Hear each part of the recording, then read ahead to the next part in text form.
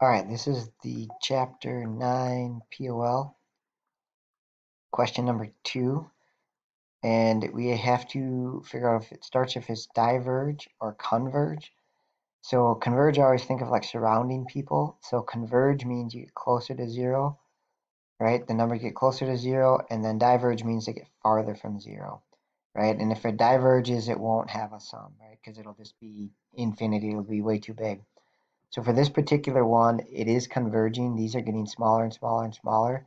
And so the idea is eventually you're basically adding zero so we can find the sum, right? And so in order to find the sum, we just have to figure out which formula to use. So for this one, it is an infinite series and geometric.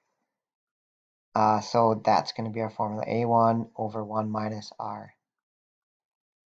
All right, so our sum is going to be a1 over 1 minus r. a1 is 1 fourth. All right, here's a1. Could label some terms. And then as far as r goes, r is the number that we multiply by, called the common ratio. If you can't tell, right, this one actually r is going to be 1 half. But if you can't tell that, you got to think like, if I have 1 fourth, what fraction do I multiply by to end up at 1 eighth? And hopefully you can see that you need a 1 in the numerator and a 2 in the denominator. Right, so that's what we're multiplying by is 1 half. Right, and if we check it, if we take 1 eighth times 1 half, you get 1 16th, etc., etc. Okay, so into our formula we go 1 minus 1 half. Okay, and so this is a little bit goofy fractions, but I'm going to try and do this all with fractions. So 1 minus 1 half is you just have 1 half.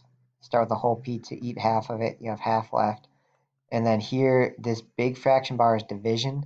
So I'm going to rewrite it as 1 fourth divided by 1 half. And then when you divide two fractions, you flip the second one and change it to multiply. So it would be 1 fourth times 2 over 1. And then that uh, would be just multiply the numerators, multiply the denominators. And so we end up with 1 half, right? So that's our sum of these infinite terms. And these aren't very big, so it kind of makes sense that their sum is also not very big, just one half. So it does, um, let's see, so this does converge to zero and has a sum of a half. Right, so letter C should be the right choice uh, on this one. Okay, hopefully that makes sense.